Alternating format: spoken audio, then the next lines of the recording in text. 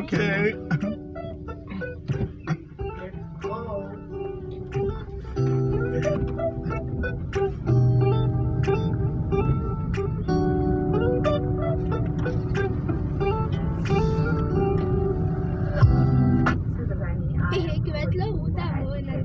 dat of Josie and uh, Mo- once again Ja, I welcome you to my channel and thank you so much it's gonna for say. choosing to view this Kies video. Park. If you still haven't Kies subscribed to the High. channel, I suggest you do so right now by clicking Yeah, on high the school. subscribe button and also use high the school. notification button so that you're notified every time I upload new content on the channel. And also don't forget to leave your comments down below, like this video and keep on coming back to watch and binge on the channel. Well, we are still um, on the new semester, like I did say, and it's good to be back in class. So, on today's topic, I'll be talking about our relationship with our spiritual guides, or our relationship with amadlozi or ubudlelwane bakho nedlozi lakho. Because in most cases, most people find themselves hitting a stumbling block or just stuck with a spirituality and not understanding that because it's important to know the relationship that exists between you and nedlozi lakho and understand what is going on around that. Because if there is an understanding and a communication between you and Idlozi lakho, your spiritual journey becomes easier and it becomes lighter because we go into the spiritual calling thing or the spirituality thing thinking it's just you always listening, listening, listening to what Idlozi is saying. But what happens when you're not getting any communication from lakho? What happens when you are angry at lakho? Because that also happens to some of us as our Idlozi. So, just like all other things that happen when it comes to one's spiritual journey, you are going to go through so much of a roller coaster. But one thing I want to highlight to you is that you are your ancestors' wildest dreams. And yes, you will embody everything and anything that they want or desire or dream of. But now, what happens if you are frustrated and you are angry at lakho because you feel like I've been doing these things and nothing is making sense. Instead of me moving forward, I'm honestly moving 10 steps back. How am I supposed to move forward as this person? But I have a calling, but I'm trying so hard, been attending all these consultations. I've watched, you know, been cleansed with all colors of chickens. I'm, I'm, I'm, I'm even vegan because of all these chicken cleansings. You know, where do I go about this? Because, like, in the layers, it's very painful. I don't want to lie to you. You will move from pillar to post, trying to find yourself, trying to find what is the reason, where are you going wrong, what are you doing, and sometimes we are too quick to put the blame on wherever you went. And sometimes it is all with you your relationship with Idlozi lakho or your relationship with your God. So some of us, or rather most of us, will go through the turbulence of mental health and all these other things. And we run away from those things by actually running to substances, drinking, smoking, partying, sex, all these other things, and not actually focusing on the root of the problem. Because between you and I, I understand how it feels to one day being a normal Mpho and the next day you're being told you have a calling Melio Tasa. What a total 360 of your life. It's like you didn't even get time to think. You didn't even get time to say goodbye to your life and all your, you know, all your things you were doing. All of a sudden, you are being told do this, do that, and jiggy pegile. Everyone is moving away from you. Everything is just one big mess. You are just feeling frustrated. You are losing your money, your businesses, everything is suffering. Just because you decided to discover yourself and jiggy jiggy now you're told that you have a calling.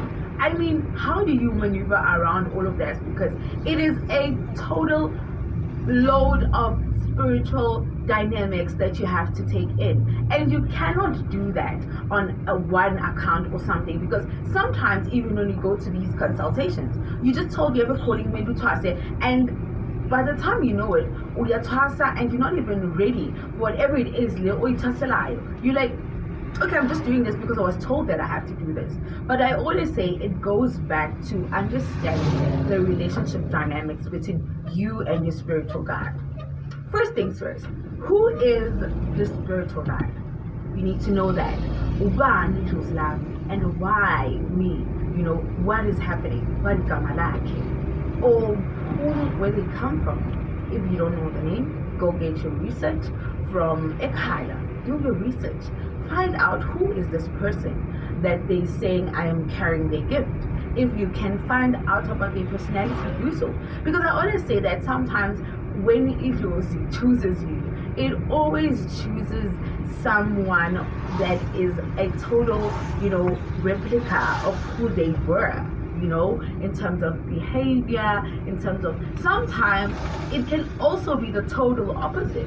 But sometimes you also take on a few characteristics that um Amadou you know, carry. You know, for example, for me, um Unkomo was very blunt, and I think I'm blunt. I call a spade a spade as yeah, and I have no non. I don't tolerate any nonsense, and um, you know, I don't want someone to step on my toes, you know, and it takes a while for me to to to to forgive and forget, you know. Um, it's those um type of traits that you see that when someone is like yo like when a like you know or you carry your rosy the way it, it is it is all those little things that are there. So what i'm trying to say is that not all of them are like a total new character but it's something that you know when you guys are being compared there are certain similarities to it.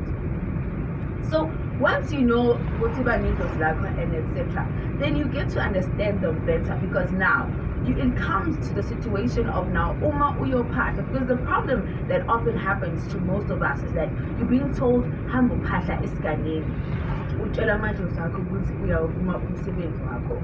And remember uyophatha esiganeni to all these ancestors announcing that you guys i'm accepting the calling because what normally happens is that if you have a calling Eagles Laco will be in the forefront, literally waiting like this in your face. While Ukok Georgina is like, no, um, you have to do this for Umtane. So it's like, not now.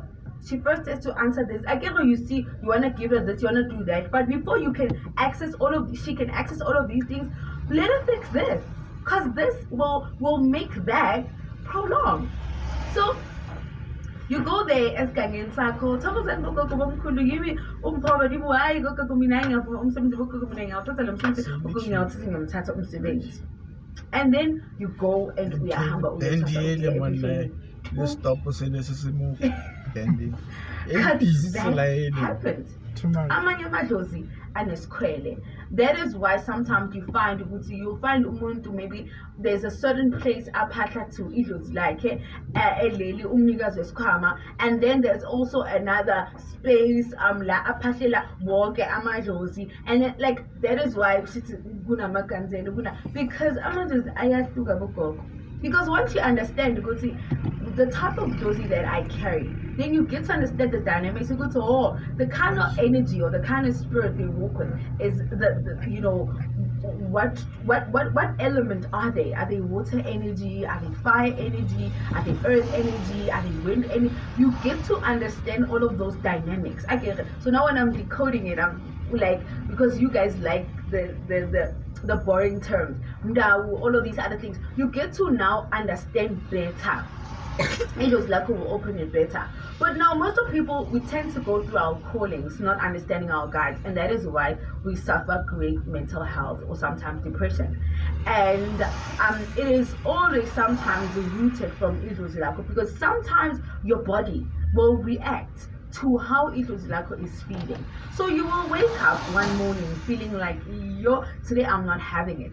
Or for the rest of the time you are focusing on the spiritual things, you're literally in depression. So there's a level of frustration that there is between someone on a Josie and the Josie itself there's a level of uneasiness or there's a level of not understanding. There's no connection, you know, because once there's connection between the two of you guys, you start to embrace your journey better and everything starts to make sense. Even when you have to wake up, when this is just it does not feel like a drag. I don't want to lie life of Ilozi is a lot. It's too much and then Sometimes I'm like, oh my gosh. But I remember that, yo, oh my gosh, you have to do this. You have to do this. But coming back to what I'm telling you is that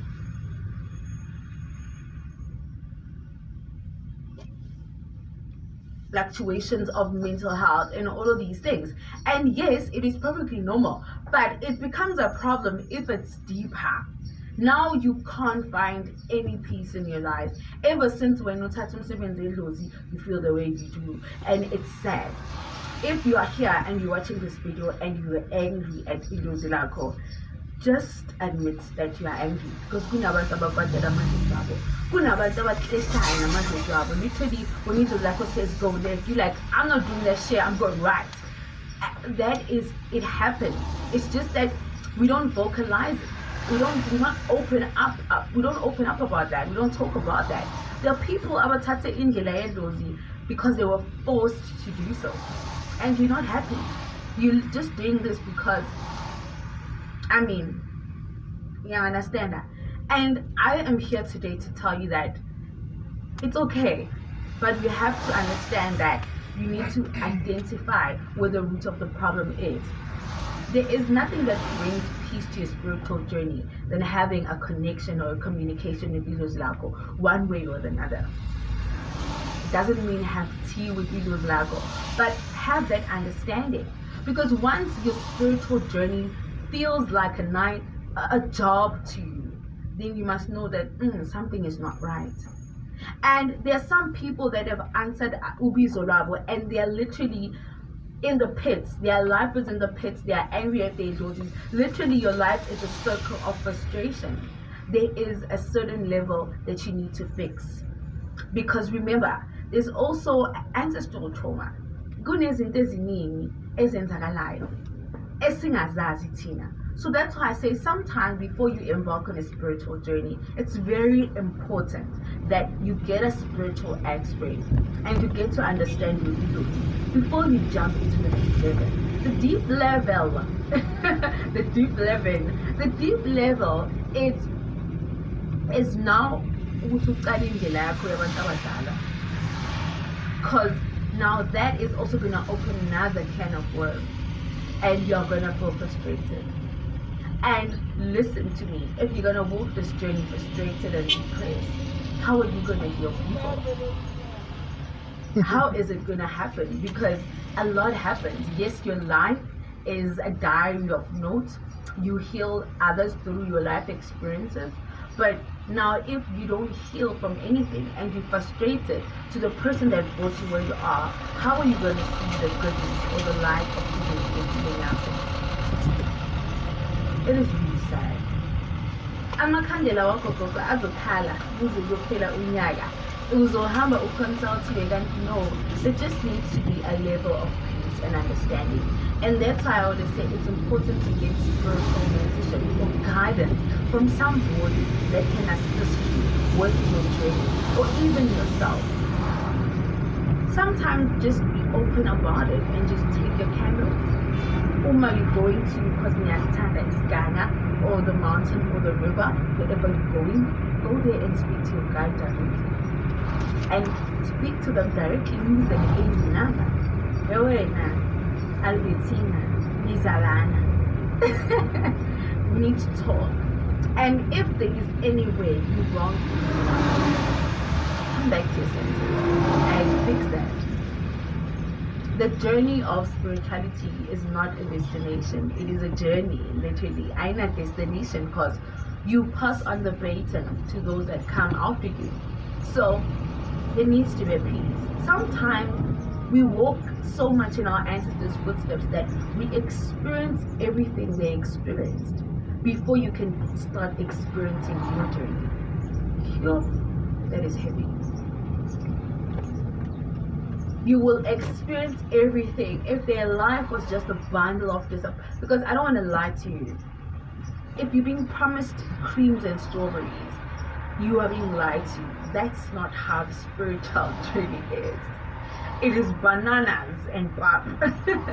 it is never strawberries and cream. But I want you to know that you are going to be fine. Um, I remember we joke about this um, with my friend and be like, yo, one happy pill a day keeps the doses away.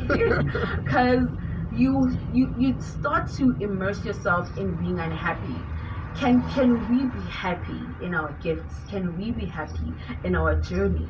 It is not easy but i believe that if we are going to be there for each other it's going to make more sense. You don't always have to go emsamo entabeni uyokhihliza amagwebu. Sometimes just go there to exude everything that you're feeling.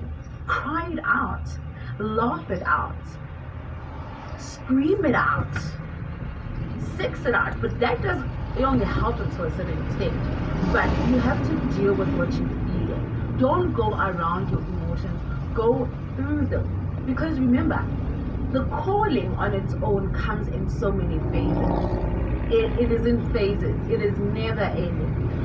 You get called and you go through so many phases. The first phase you be like, yeah, I got this, and you trust about time calling. And the, the coming phase is using, ooh, I, I, ah, that's Wakolaisha pusi ya gago di mamatras o motjha. What you can say, now I have found myself, and this is where I'm going don't be one of those people and saying, I'm waiting for my idiocy to show me. Probably your idiocy is not showing me anyway because you guys have some unresolved issues or unresolved matter. Or even it's family based. So if you don't have patience with idiocy, you don't have patience with anything, it's going to be hard for you in this thing called spiritual journey. It needs your 150% so, yes, I'm not complaining, but I look back at that and I'm like, I'm grateful. Yes, I'm going through life's dynamics, you know, for someone my age, but it's not how I would have gone through all of this if I didn't answer the call, if it didn't come the way it did. My phases of, listen, 20, um, 2010 was my first, first phase, first phase of the calling it was the pits. It was hell.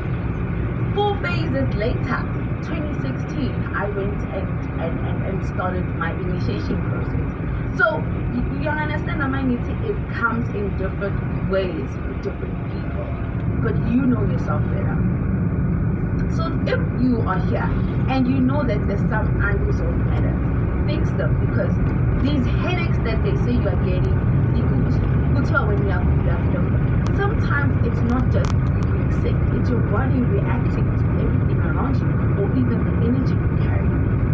Look at how you are sick, where you are sick. You understand that? I would say sometimes with, with, with, with especially if you carry female ancestors or your parents will show you flames. Your parent pains will be the pits. If they are on their worst behavior, they will show you the pits. Literally it, it, it, can be anything. Literally you will lose interest in sex. Carrying male ancestors is the worst. When it's the, them and their issues you start looking like john and not even look like a pope yeah those days come. Those days come. We might be yay yay we might be glitting and jamming but when we like it it, it, it, it should hit the fan it's nothing like what it seems. So you don't want to be those people. I want you to forgive yourself. Awuzicelelanga ukuba nedlozi and awulibizanga idlozi aya andiwabizi amadlozi ayazizela that's the song that you need to sing you don't ask for what you have you were born with your gift. Forgive yourself. If your life went south, forgive yourself. And I, I say, you know what, impilo yami ibedile vele ngahlekwa ngakhulunywa but it's okay bangibona ngizula le inkukhu uma ngingena kodwa it's okay. It's my story. Because someday i'm gonna tell someone about it and be like that's not don't ever explain to someone else explain to me but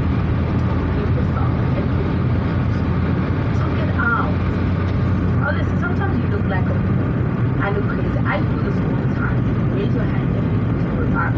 I speak alone. I talk alone. But to someone that might be looking at me, they might be like, she's speaking to her, to herself. And I know I'm not speaking to myself. I'm speaking to God. I would sit in the room and have a, a lengthy conversation. a long conversation. Long, long conversation. Or me cleaning, having a long conversation. Driving, I'm having a long conversation with myself. Yeah. Yes, I'm talking to they are you, you are them. Sometimes I go in and do let my candles take my snap chill. That is not test. That's mean I call him and Matanga like he wants to for five. I'm gonna you understand? The relationship you build, me understanding it, it's not a take relationship, but it's a take. It's an exchange, it's a love situation. And in the, at the end of the day, I'm gonna do this one So if you're angry, I don't want to love. And I'll Sometimes uzothola ukuthi generation and generation bebangathwasi and by the time sekuthwasa wena there's so much anger built and by the time it gets to it's like you need to do this or if you don't I'm gonna crush your skull um literally because they fear also the, the disappointment of having to beg constantly someone to answer their calling it's very embarrassing it's very embarrassing. I don't want to lie. So the reassurance needs to be there. The relationship needs to be there. Yo, I got you guys. We are going to do this. Yes, I'm taking of others. What else do you want? You know, once that relationship becomes better, your communication and some will be better. Impepo yako will burn better. Your candles will burn better. You will feel better. You will wear your weight of pride. You will wear your value of pride. You won't feel like a 95. So, the question still stands. What is your relationship with Eagles Laco? How is your relationship with Eagles Laco? Are you angry? Are you satisfied? Do you have reservations? Do you have regrets? Do you feel like it was too soon? Do you feel like mm, if I do this, maybe it'll be there is where like you're doing it for the wrong reason. I suggest you go back to the book. Building a proper project and start being honest to yourself. And don't do I hope but but but but That's what I but always say to patana. people.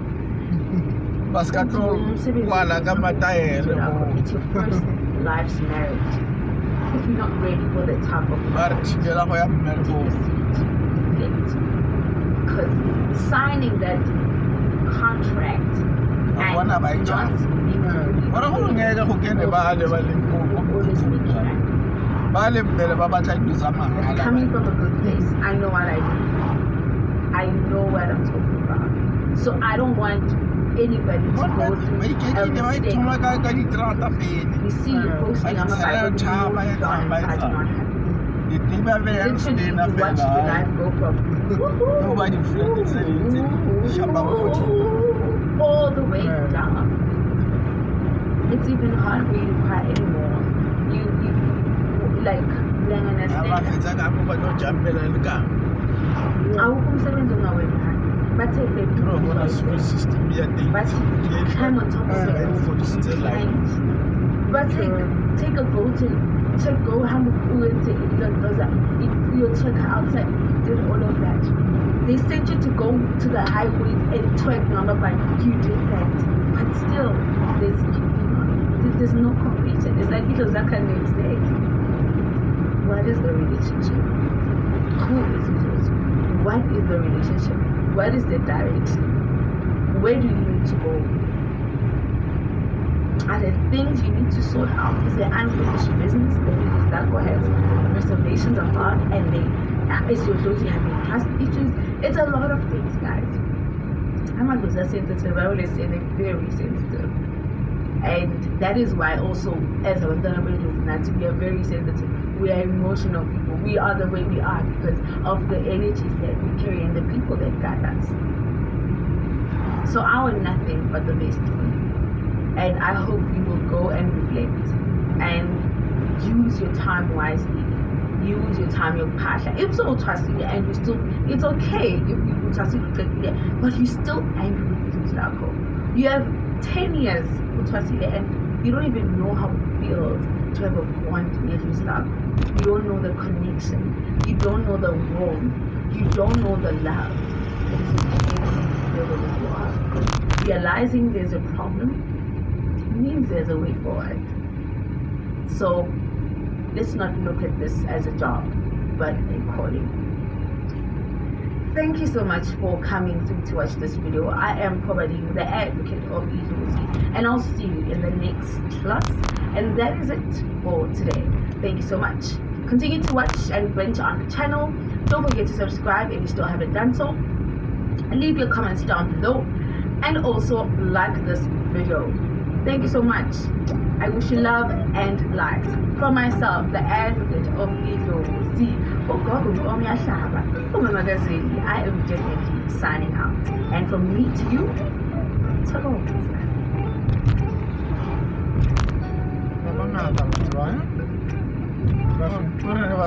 exposure. I'm going to try and keep this brief. So there's a current furor, ruha. There's a current anger in South Africa about a potential 1 billion rand that will be going to sponsor the English Premier League team, Tottenham Hotspur, in England, in the United Kingdom. South Africans are angry because we're dealing with load shedding and energy issues. We've got potholes, we've got crime, and, and, and, etc. and the other.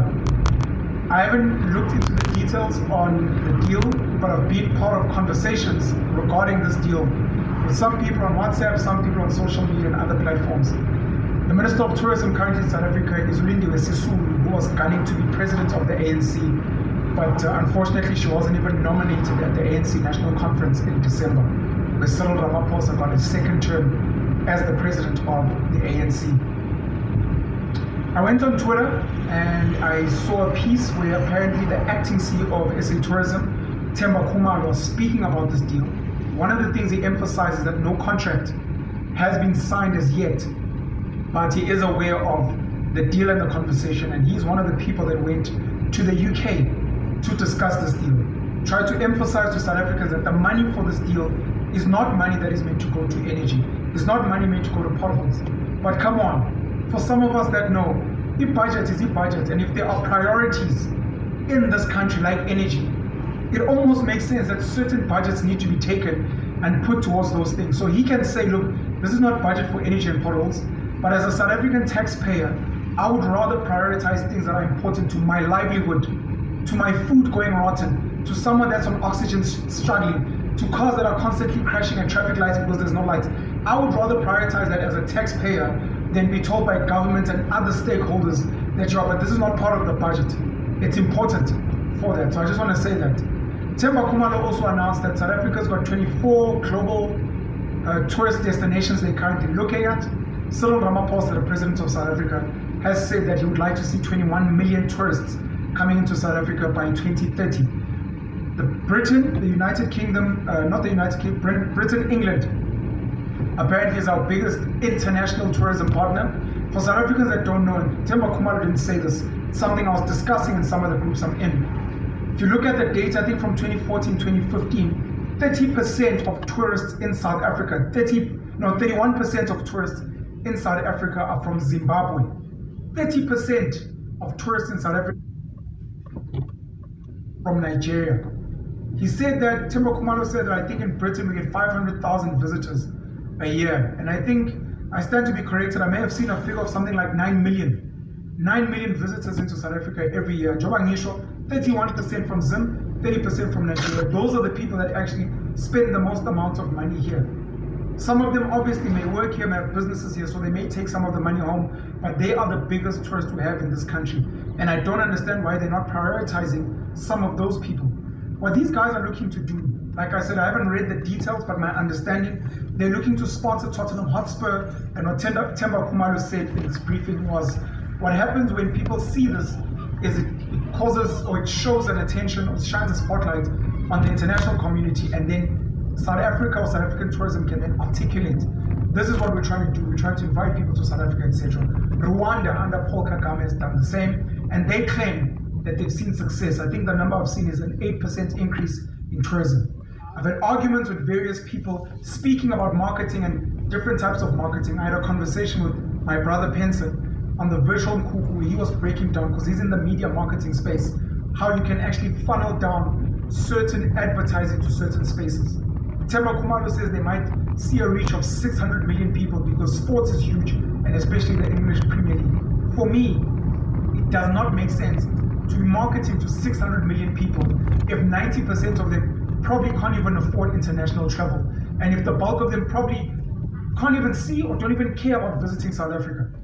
That 1 billion rand, in my opinion, could be better used to maybe fund a Trevor Noah who travels around the world, has an audience that listens to him and video, and speaks about the beauty of South Africa as a tourist destination. Someone like Black Coffee, who also travels internationally around the world. Some of our brand ambassadors, or brand ambassadors as South Africans, Charlize Theron, Thuso Mbedu, and other such people could speak about the beauty of South Africa to people and in spaces to the intended audience.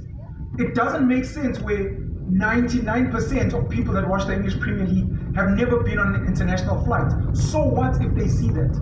You want to zone in on the people that are looking to travel, or maybe searching on travel websites, etc., etc., so that they can be like, oh, actually, maybe let's go and see South Africa. You've got YouTube channels, you've got social media channels where people can see ads in real time that are showing them beautiful scenery of our coastline, the Drakensberg Mountains, some of the game farms in Mpumalanga and Limpopo, etc., etc. Soweto, Sandton City, Durban, the Free State, the, the, the big hole in Kimberley, places like that, Table Mountain. You show that someone who wants to travel, someone who maybe doesn't even want to travel will see visuals like that, hear a story like that.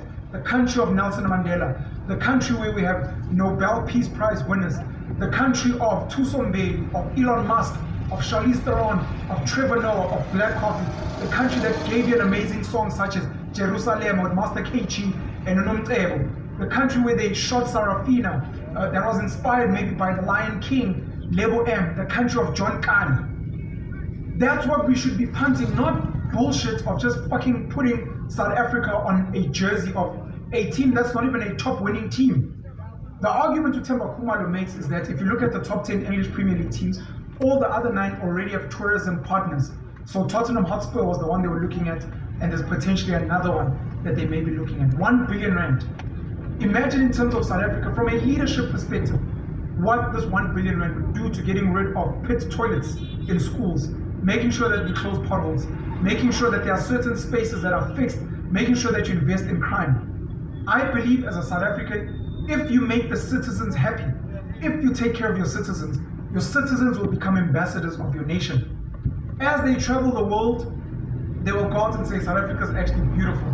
As they make videos like myself, YouTube, which are watched by people around the world, we will be like, I live in the best country on the planet. And we can push propaganda like America. America's had, I think, over 30 mass shootings in January alone. But no one speaks about that in America. Instead, they speak about the beauty of Los Angeles and Miami and Hollywood and New York City and Wall Street. Like, oh, America, the land of the home, the home of the brave, land of the free, whatever. We don't do that in South Africa. And part of it is because you're not taking care of your people.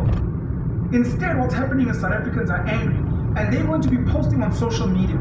As South Africa is doing this thing that our government is failing, we've got rampant load our crime rates are bad, we want to get rid of the ANC people come here and have a bad experience. We're going to be saying that some of the billionaires and millionaires in South Africa are going to be telling their friends, don't go there. The ANC is wasting more money, some of it might that might end up in brown envelopes to try and bring people in. But to be honest, it's not a good country to be in right now. The mood is not great. Fix your country and your people will market your country for you. We need tourists. We need money coming in. We know that. Like I said, why are you not investing in Zimbabwe and getting more Zimbabweans to come in and visit? Get more Nigerians to come in and visit. And make sure that when they visit, they spend money. They are buying from South Africa to take, take things home. They are watching our theatrical, theatrical productions. They are going to the beaches. They are going to game reserves, etc. How many of the Pakistanis, spaza shop owners, and these people, how many of them are being pushed to spend their money in local businesses? We're not doing that. Instead, we want to prioritize rubbish. These are my thoughts, of course, my opinions. I see some people on Twitter like, look, actually, uh, Britain spends about 50 billion a year, the tourists. So even if we get a 1% increase, uh, we will see that money paying itself off over time. There's no proof. I think, personally, this is an opinion, a gut feel. I think even with the Rwanda story, I don't know if there's a direct link between the money Rwanda has spent sponsoring a team to tourism increasing. Paul Kagame has been doing amazing work in Rwanda, cleaning the streets, making the, the country investor friendly, saying that, look, this is the new Singapore, this is the new Dubai, come in and invest. Aliko Dangote in Nigeria has tried to do the same on various platforms, saying Nigeria is Africa's biggest secret. Come invest in Nigeria. We need a Patrice Motsepe. We need a Johann Rupert. We need a Nicky Oppenheimer. We need other business people to travel the world and say, South Africa is not just ripe for investment. Don't just come and put your money there and work the people, but please visit. Please come and see our coastline. Please come and see our people. Please buy from the people on the streets or oh, mama. Please ride in our minibus taxis, of which some of them are also dilapidated, and the taxi industry is also not being pushed because some of them probably pay bribes. They're not being pushed to get their filthy taxis and their broken down taxis off the road so that tourists that come in, foreigners, whether it's African foreigners or Asian or European or American, they come in, they're like, we love the minibus taxis because the service is so good, it's instantaneous, the music is great, the people are happy, they're chatting, it's good, and we support street food. We buy art in South Africa from the streets. We go and watch movies and theater productions there.